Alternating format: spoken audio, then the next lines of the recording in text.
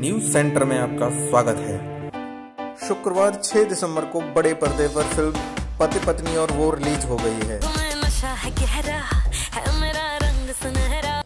कार्तिक आर्यन भूमि पेडनेकर और अनन्या पांडे की इस फ़िल्म ने दो ही दिन में बॉक्स ऑफ़िस पर झंडे गाड़ दिए हैं। कमाई के मामले में ये फ़िल्म सुपरहिट जा रही है।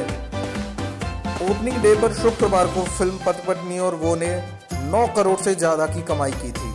वहीं फ़िल्म ने दूसरे दिन, यानी शनिवार को 12 करोड़ रुपए से ज़्यादा कमाए हैं। इस तरह फ़िल्म ने कुल दो दिन में 21 करोड़ रुपए से ज़्यादा की कमाई कर ली है।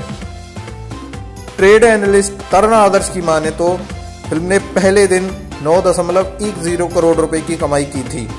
वहीं दूसरे दिन बारह दशमलव तीन तीन करोड़ रुपए की कमाई की थी। इस तरह फ़िल्म ने कुल 21 करोड़ 43 लाख रुपए कमा लिए हैं।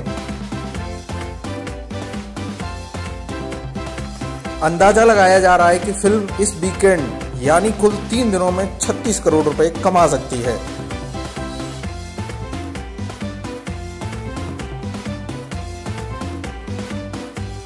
फ़िल्म पत पत्नी और वो को अर्जुन कपूर की फ़िल्म पानीपत से टक्कर मिलने वाली थी, लेकिन पति पत्नी और वो के आगे पानीपत की ये लड़ाई काफ़ी फीकी नज़र आ रही है।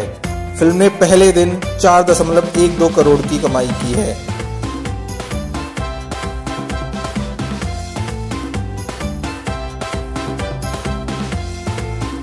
इस वीडियो को पूरा देखने के लिए धन्यवाद। वीडियो को लाइक और शेयर करना ना भूलें। न्यूज़ सेंटर के यूट्यूब चैनल को सब्सक्राइब ज़रूर करें।